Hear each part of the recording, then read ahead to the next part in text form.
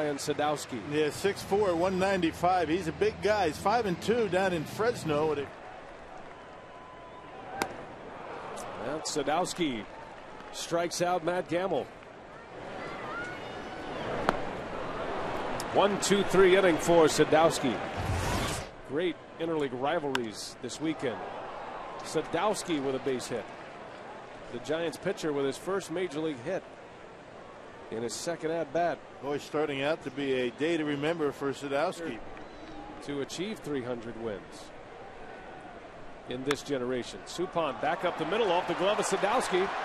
He's hustling, and Sadowski gets his man. Two outs.